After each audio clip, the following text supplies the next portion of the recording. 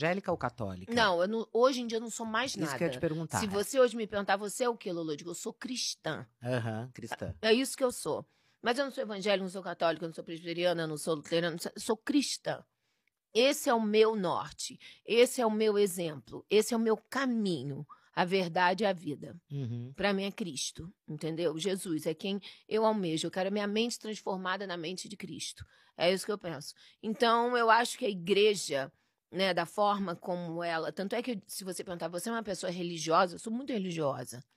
Mas eu não sou religiosa no sentido dogmático. Eu Uhum. sou religiosa no sentido do religare. Entendeu? Eu acredito realmente que nós somos seres espirituais que estamos tendo uma experiência terrena. E que a nossa tendência é voltar um dia para onde a gente veio.